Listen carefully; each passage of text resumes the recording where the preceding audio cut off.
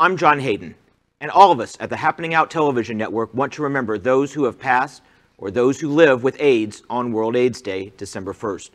We remember the more than 36 million people globally who have died from AIDS, and we look to the future as modern advances in medicine bring a cure closer. Through preventing the spread of HIV and new treatments that are becoming available, we hope for the day when the AIDS epidemic finally ends.